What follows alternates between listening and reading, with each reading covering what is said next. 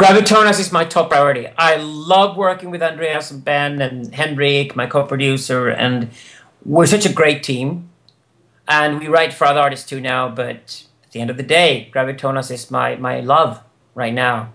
And um, the way we're doing it is that we probably we are the journalists called Gravitonas the world's first Spotify band, but and I think it's correct description. We refuse to release albums we refuse basically to go the traditional first a single, then an album, then a tour thing, which um, is very boring now. You know, now when the music bloggers are taking over the music industry, then there's nothing more boring to write about. There's a single out, and there's a video with a single, then comes the album, then comes the tour, because it's such a predictable process, and and um, we're all tired of that now because what the new space opens up is, is completely new ways of doing music. And the format we're working with in Gravitonas that fits us perfectly, fits our kind of creativity, and the fans love it, is the fact we release up to three EPs a year. The EP is wonderful for music blogs because it, it gives you four to six songs at a time to make comments on, which is just perfect. It's not too long like an album, but it's not too short like a single. And it also leaves room for the artist to express things that aren't normally found in the straightforward radio friendly hit singles, but rather, you know, the more experimental stuff, you can put that out, you can put out collaborations. Uh, our next EP comes out in October. We're going to have our first two rap tracks on that one with a, a rapper signed to Sony in the States who worked with Gravitonas and loved, loved working with us. And, you know, you can, you can do all kinds of interesting, fun collaborations. So the EP format, I think, is the future. It, it really fits the new streaming environment wonderfully because the streaming environment is all about music blogs and it's about making your own playlists and then sharing them with your friends. And that's where you want, you know, mixing different artists, different genres, taking one song there, taking another song there. That's how you put these playlists together. And I think Gravitonas is, is perfectly gelled for that. And of course, we love to perform live. We have a whole five man band live setting. Made our first five man band performance at the opening of Stockholm Pride in, in Stockholm this summer. It was a great success. Was our first ever concert in Sweden. And um, we'd love to develop that more. But, um, you know, it, it's not the traditional band stuff that fascinates me and Andreas the most. What fascinates us the most is the creation of great music and then putting it out there in a brand new way because of all the new things you can do online you couldn't do before.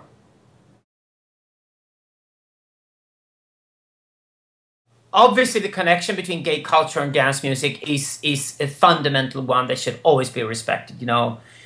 Disco is to gay people what reggae is to jamaicans uh, you know and what what punk is to amphetamine addicts basically. It's it's a it's a music genre that was developed by black gay men in america and we all owe everything to them.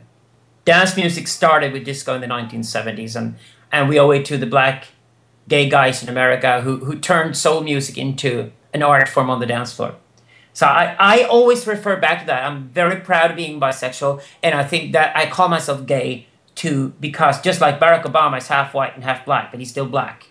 Because you always have to be, you have to show your solidarity with a minority. And for me, I'm a gay man, and it's very important for me to stress that. And I'm a gay man in a business that's still controlled and ruled by straight men.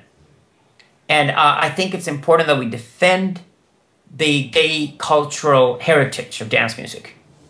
So even if all the guys of Swedish House Mafia are straight, and even if the straight men are dominating dance music too, we need to constantly remind them of the fact that this, this type of music has gay roots.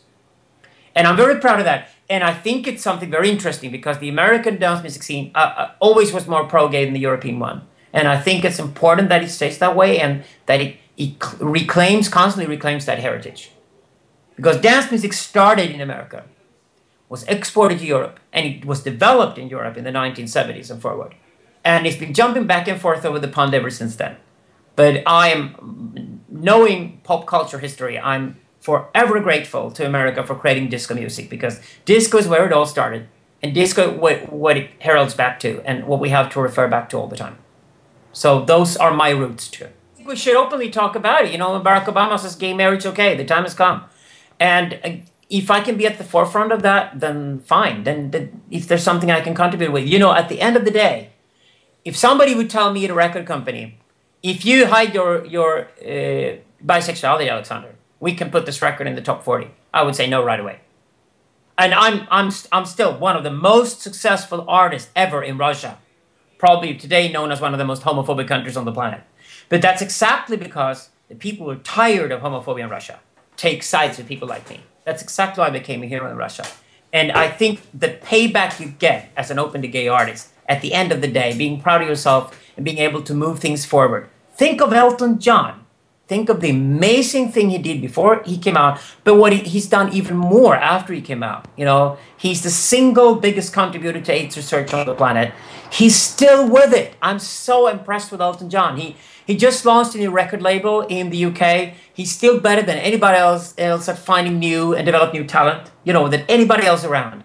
And he's totally proud of being an open to gay man today. And I think he we should just look at him and then realize that that's where we should be with everything. And I've been in these A&R meetings so many times where a well-meaning young straight guy who's the head of A&R at the company thinks he's put the whole remix package together and everything's set and ready he presents it for me and he says, what do you think of this? I've got this guy on board and I've got this guy on board and now we can go with the single. And I started looking at it and say, hey, I will never put out a record unless there's a remix on this release that's perfectly suited for the gay dance floor. There's got to be at least one remix that has the gay dance floor in mind on every record that I put out, regardless of artist. And that's that's where I that's what I always make sure. I always make sure that I'm grounded there in anything I do. And by God, you know, I, I tell all the gay men who love to go get up on the dance floor out there, if I do something you disapprove of, please tell me because then I know I'm wrong.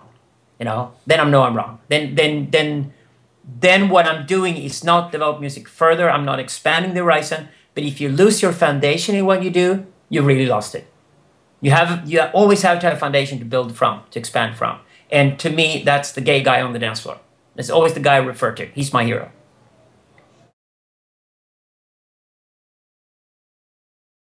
in America, you have the constant struggle because you have this constant antagonism. You're constantly being reminded of the fact that you know, one out of three people in America believe in the creation, creation myth from the Bible. And they honestly believe that homosexuality is against God's will or whatever. So you have this fight with these people all the time, but you can also live in cities where you ev- never run into a single homophobic person. And in, you know, the kind of ghettos that were created by gay people in the 1970s are still around and they're bigger and they're more important than ever. And you find them in Toronto and San Francisco and New York and all these places. And um, you can have a very comfortable life there, but you constantly have to fight with these groups out there that still deny you the right to have a gay marriage and things like that, which is, of course, very sad. Now, the thing with Scandinavia is that homosexuality is not the slightest bit controversial. Gay marriage has been around forever um, the younger generation here don't care what sexual orientation you have. They finally, they're totally over it. Men and women go to bed whatever they like, both genders, and and you know it's an environment where that's really is quickly becoming a non-issue.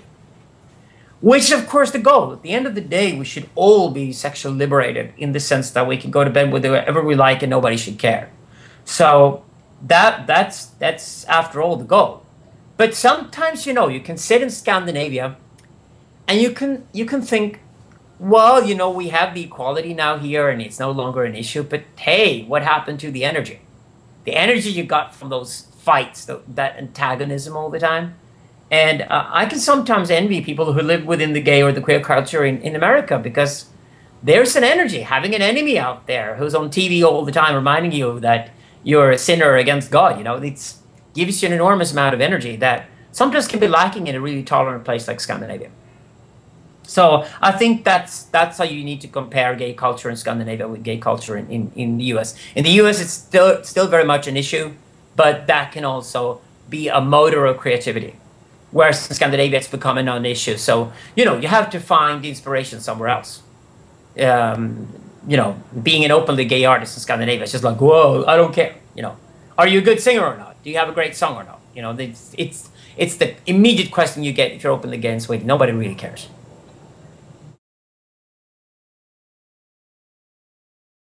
Honestly really think we need bands and performers back on stage again. I think we have a huge DJ fatigue. But the DJ, as a DJ, is going to be more important, bigger than ever. And I even think the job of the DJ is going to be even more democratic because of streaming and all that. A lot of people who are really clumsy te- technically can be really good DJs because they have great taste in the future. So I think there'll be more DJs than ever before. Dance music will be bigger than it ever was. The four on the floor is bigger than it ever was, and it will be for a long time to come. But I think the merger of the DJ and the rock band is the way forward for the music industry. It's going to be a lot more captivating to go and watch than just a DJ performing or a really boring rock band still playing old rock and roll the old way. And I think the merger of the two is where we're at. And I, we hope to be at the forefront of that movement with Gravitonas. I think that's where things are going to be at for the next five to ten years.